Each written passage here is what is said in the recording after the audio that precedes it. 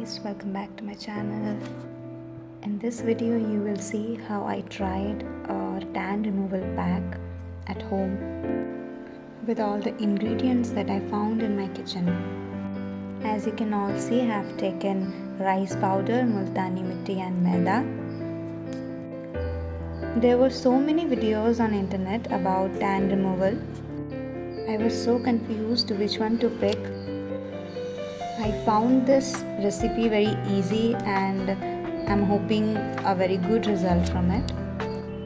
Now add milk and mix it to get a thick paste. Milk also helps in nourishing your skin. I'm trying this tan removal paste on my friend's hand which is very pigmented and tanned from before. Multani mitti is used to remove whiteheads and blackheads from your skin.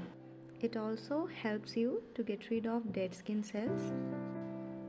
Not only that, it helps to boost your circulation and improve skin health and tone. Rice contains a few sun protecting agents which convert it into a good natural sunscreen. Being a good anti-inflammatory agent, rice powder also soothes sunburn and prevent the skin from suntan. It took us almost 20 minutes to get dried. As you can see, it is almost dried now. This does not end here. After washing our hands, we'll have to apply a mixture of milk and baking soda which will further moisturize our skin. Baking soda has antibacterial property which helps to prevent further breakouts on your skin. It applying evenly everywhere and leave it for 2 minutes. Don't keep it for more than 2 minutes. As I have used maida in this process, I'm going to talk about the benefits of maida as well. It has exfoliating benefits which become more active with milk. This happens because milk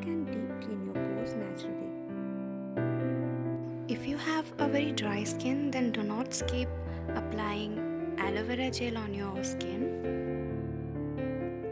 Now you can see the process is finally over and uh, there is not much difference. Only difference I'm noticing is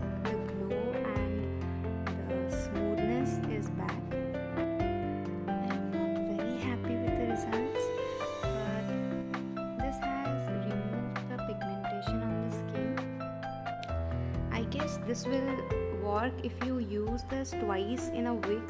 It will help you remove all your pigmentation. You can see the difference. This hand looks so much clear and clean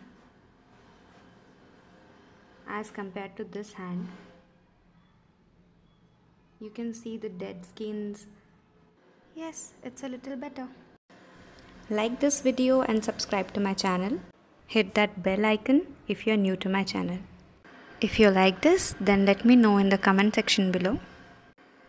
And thank you for watching.